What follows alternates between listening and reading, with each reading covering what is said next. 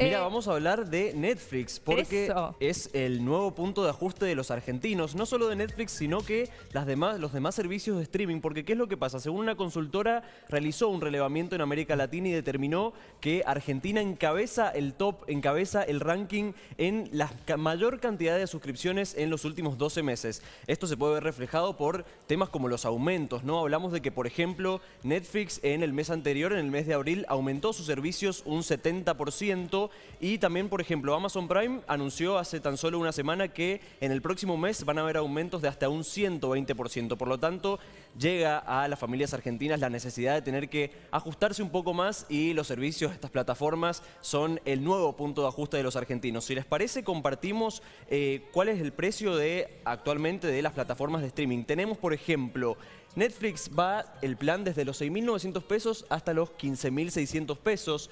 Después Max de los 3.500 pesos hasta los 5.600 pesos mensuales, ¿no?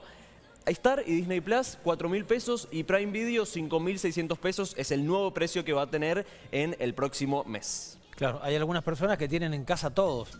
Exactamente. Más el cable también- por el fútbol, en fin, eh, es un dinero realmente importante tener en cuenta. ¿no? Así es, y uno, una de las cosas que pasa, por ejemplo, en este país es que Mm. según este relevamiento de la consultora, el 46% de los argentinos utiliza estas plataformas de manera compartida, es decir, entre di- diferentes familias para cobrar, para pagar un poquito menos, ¿no? Claro. Bueno, pero por ejemplo Netflix le puso coto a eso.